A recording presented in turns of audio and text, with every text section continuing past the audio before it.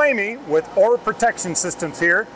This is the Unit 5 Transformer Deluge System, which in the event of a transformer fire would engulf it in water.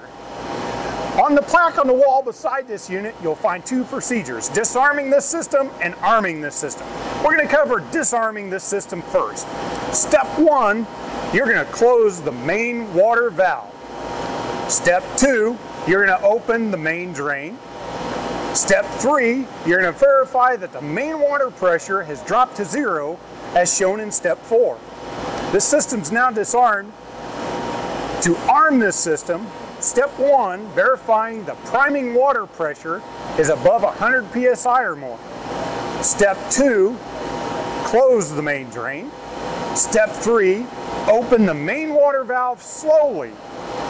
Step four, you're going to verify that the main water pressure is 100 psi or more when the valve is completely open. Each QR code contains a different procedure and many of the systems here are different. So don't make the assumption all these systems are identical and would disarm and arm in the same way. Scan the QR code, know the system. Thank you and have a safe day.